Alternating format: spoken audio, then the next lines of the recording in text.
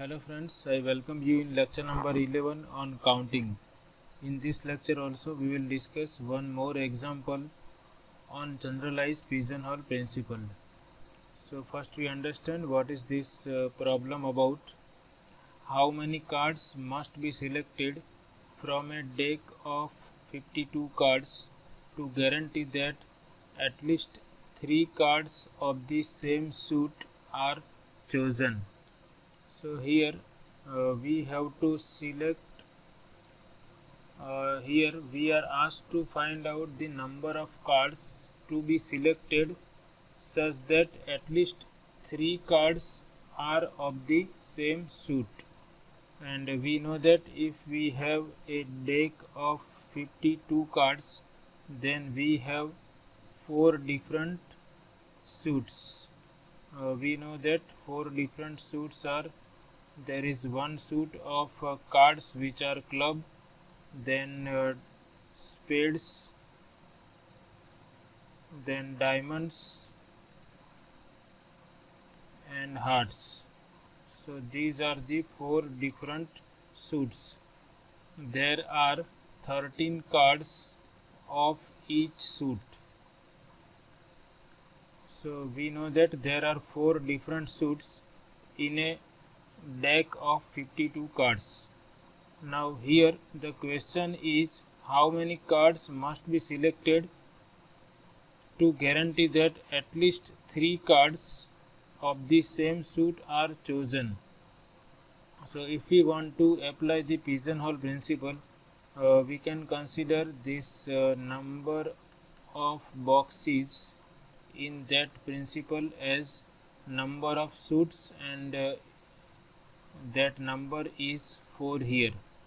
So we have to uh, find out the number of cards that is denoted by capital N. We have to find out capital N number of cards such that at least 3 cards of the same suit are chosen so this uh, 3 we will consider as small r. So we have to find out the number of cards or number of objects such that at least r of these objects are in the same box or at least r cards are of the same suit. So we know that this uh, minimum number is given by this formula.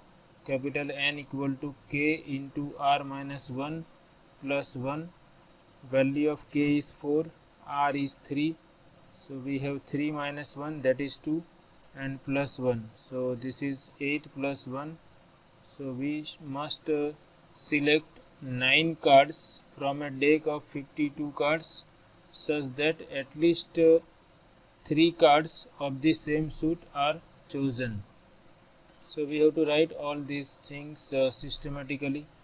First we should write that uh, which number we are considering as number of boxes. So we know that there are four suits in a desk of 52 cards.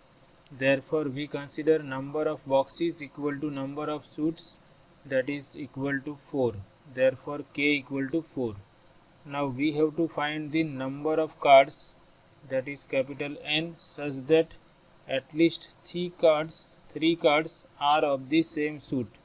And that number is given by n equal to k times r minus 1 plus 1 and that turns out to be 9 so therefore we must select minimum 9 cards to guarantee that at least 3 cards of the same suit are chosen so sometimes they ask this type of problems uh, that what is the minimum number of objects such that at least r of the objects are in the same box and that minimum number of objects is given by n equal to k into r minus 1 plus 1 so this is all about this session. I hope you like it.